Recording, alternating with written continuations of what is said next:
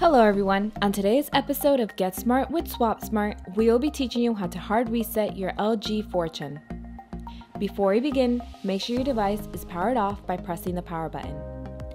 To hard reset your device, you will need to hold the volume down button and power button together. Once the device vibrates, quickly release the power button and then immediately press the power button again, while still holding the volume down button. Okay, let's try. Hold the volume down button and the power button together. Only release the power button and now quickly press it again. You will then release all buttons once the factory reset screen appears. Use the volume down button to scroll to yes and press the power button to select. You will be asked to confirm, press the power button to select yes.